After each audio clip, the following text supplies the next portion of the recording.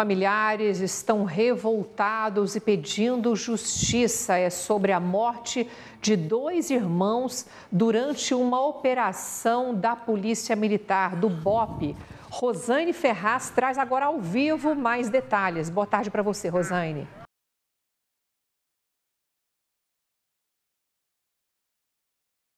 Boa tarde, Luciana. Falamos ao vivo aqui do setor Maísa, em Trindade, sobre a morte desses dois irmãos. Você acompanha aqui agora que parentes, amigos realizam um protesto aqui na porta de uma igreja evangélica, onde acontece o velório desses irmãos. Nós temos imagens que mostram aí Vitor de Paula, de 21 anos, e Caleb, de 18 anos, sendo velados, um ao lado do outro. Os dois foram mortos aí no início da tarde de ontem, aqui mesmo na região perto de onde eles estão sendo velados. Nós também tivemos acesso a um vídeo que mostra o desespero da família logo após a notícia da morte dos irmãos.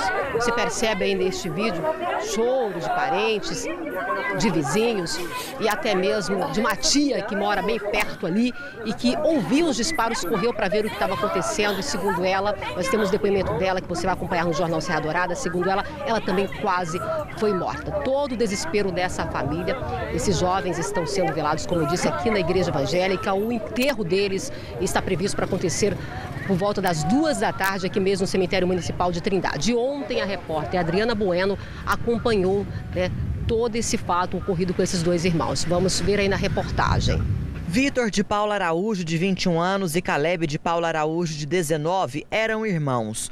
Os dois morreram nessa casa onde moravam com os pais, no setor Maísa 2, em Trindade. De acordo com informações da família, os policiais teriam entrado aqui na casa por volta das 11 horas da manhã. O Caleb estaria sentado aqui, em frente a este computador. A sala, como vocês podem ver, está toda revirada. A casa foi completamente revirada. Aqui neste quarto estaria o Vitor. O local também tudo revirado.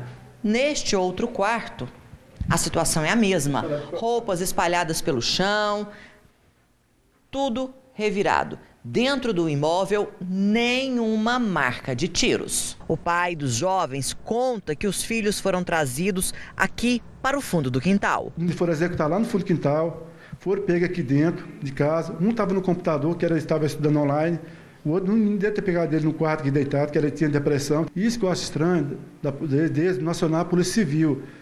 Por que, é que a Polícia Civil serve, então? É isso que eu queria saber. Ainda de acordo com o pai, Vitor tinha passagem por roubo e abandono. O rapaz cumpriu pena em regime fechado e atualmente estava no semiaberto. O pai conta ainda que o filho estava seis meses em depressão. Os jovens eram os únicos filhos de Eligar. Sim, filho de dois filhos.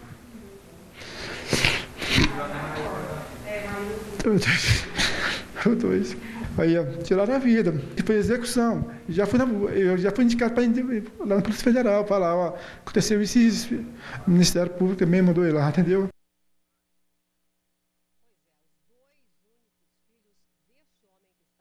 Novamente aqui do meu lado, o seu Eligar, o Caleb, esse menino de 18 anos que trabalhava em um pet shop, não tinha nenhuma passagem pela polícia e sonhava fazer faculdade. Por isso, a família já procurou a Corregedoria da Polícia Militar, acionou o Ministério Público, seu Eligar, e para a família, o que aconteceu?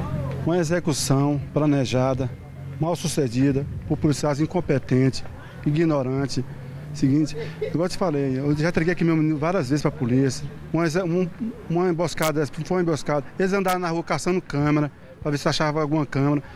Eles entraram na, dentro da casa, saíram para fora, executaram lá fora, executaram, voltou lá, pegaram luva, peguei, o celular do meu menino sumiu.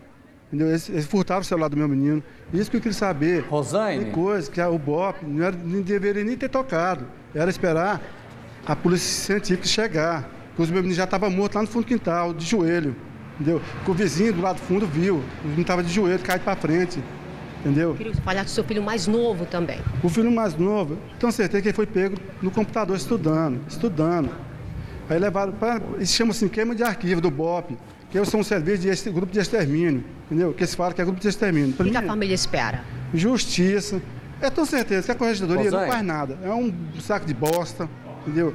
Se fosse uma corregedoria séria, Fala, não, vamos recolher os armas, vamos recolher as armas. Nesse momento a família realmente faz esse desabafo, e... senhor Ligar. Nós fomos atrás assim, de uma resposta da Secretaria de Segurança Pública, até há pouco ainda não tinha encaminhado essa resposta, mas ontem né, a nossa equipe conversou com o capitão responsável pela equipe que trabalhou nessa ocorrência.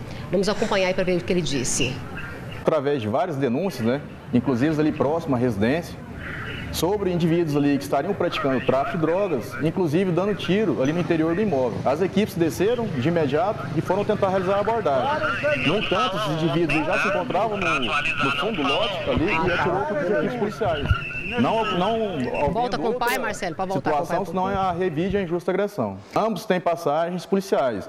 Inclusive, um deles consta mais de 20 registros. Entre os anos de 2016 e 2019, ele foi preso mais de 10 vezes pela Polícia Militar, se encontrava foragido do sistema prisional. O outro indivíduo, o mais novo, esse sim, ele tinha apenas uma passagem. Né? Mas ambos aí constam ficha criminal contra eles. Foram encontrados três armas de fogo, um simulacro de arma de fogo, tipo pistola, e três tabletes de maconha. Pois é, seu Ligal, eu queria que o senhor dissesse, falasse para a gente sobre essa resposta da polícia, das armas que foram encontradas, da informação, essa resposta de um representante da Polícia Militar, o comandante da operação. Comandante, o senhor é muito desqualificado, despreparado burro, é, para mim é burro. É eu queria burro. que o senhor respondesse a... Olha, eu, eu como pai, entregava ele para a polícia, o comando aqui sabe, dessa região, que eu entregava ele para a polícia. Nunca deixei nada dentro de casa, droga, arma. O senhor Rosane. é muito preparado. Acho que o senhor entrou na polícia, indicação, eu que é burro. eu queria que o senhor desse mais a resposta, né, de uma outra forma, porque a gente também respeita a dor da família, mas a gente também precisa falar de uma outra forma, isso. né, que o senhor possa cobrar a justiça. Sim, Jordevar? Tá certo. Obrigado pela sua participação. Claro que a família, num momento como esse, tem uma dor muito grande.